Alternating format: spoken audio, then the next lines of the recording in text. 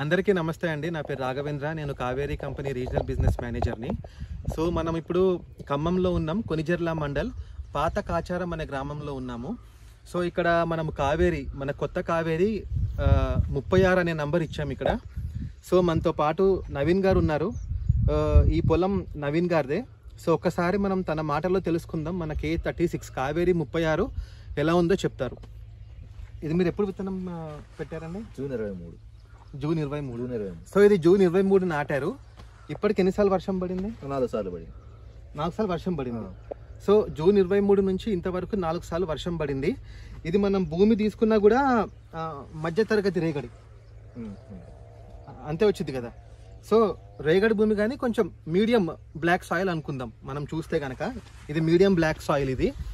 ఇంతవరకు నాలుగు సార్లు వర్షం పడింది. మీరు ఇంకా తడేం పెట్టలేదు కదా ఏం పెట్టలేదు. దీనికి ఎరువులు ఏం వేశారు? డిఏపి ఒక నాలుగు కట్టలు యూరియా ఒక రెండు ఇంకొచ్చేసరికి ఇరవై ఇరవై ఒక నాలుగు మొత్తం పది కట్టలు సో డిఏపి ఒక నాలుగు కట్టలు యూరియా ఒక రెండు కట్టలు ఇరవై ఇరవై నాలుగు. ఒక నాలుగు కట్టలు వేసారు ఇంతవరకు.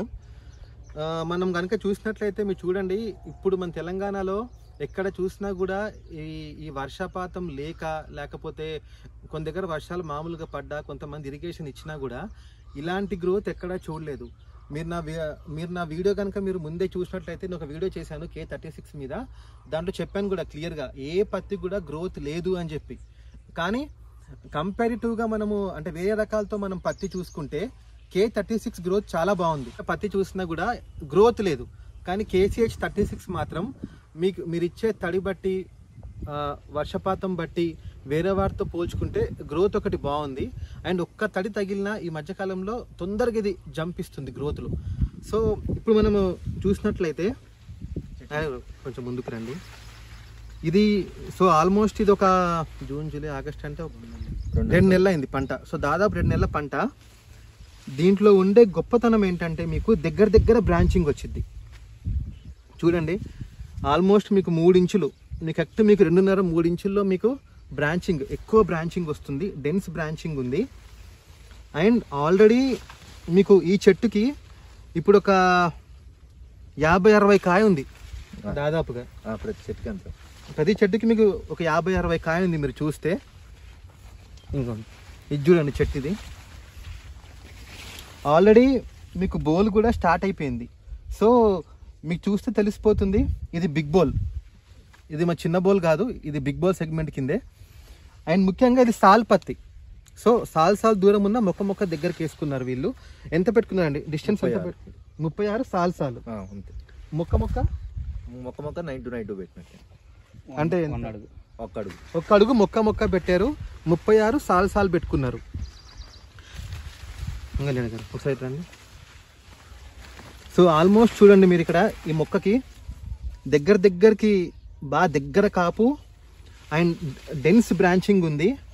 సో సుమారుగా మనం లెక్కేసుకున్న రేపొద్దున మీరు ఫస్ట్ పికింగ్ కోసుకునేసరికి మీకు అరవై కాయ చెట్టుకు ఉంది మీకు. సో యాభై నుంచి అరవై కాయ మీకు ఈజీగా ఉంది చెట్టుకి.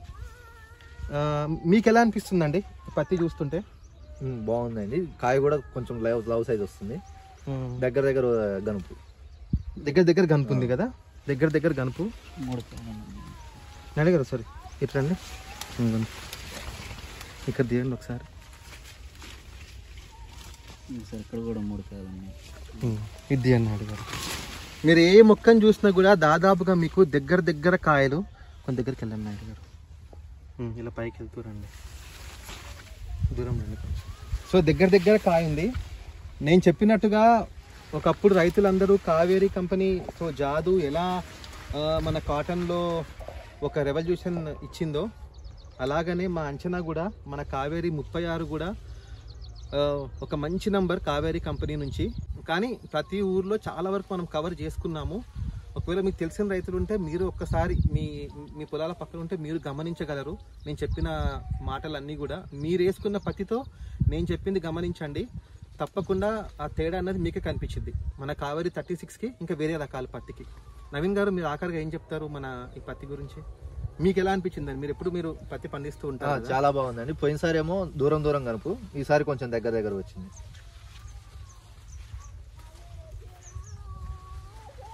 దగ్గర ఉంది. ఆ. ఇంకా రోగం ఎలా ఉంది? సకింగ్ ఆ, పెస్ట్లు అన్నా లేకపోతే తలదామ తట్టుకుందండి. తట్టుకుందా? దోమకు తట్టుకుందా. మీరు స్ప్రే ఏమన్నా వేసారా లేకపోతే ఏం వేయలేదా స్ప్రే? స్ప్రే చేసాము మూడు సార్లు చేసాం ఆ. కానీ దోమకు తట్టుకుంది మీకు ఆ. తేడా కనిపించింది కనిపించింది దోమకు తట్టుకున్నట్టు. అంటే వేరే రకాలు మన మన ముప్పై అవేమో ఎర్రబడ్డాయి ఇవేమో కొంచెం పచ్చగానే ఉన్నాయి అవి. పీల్చి. రసం మీద.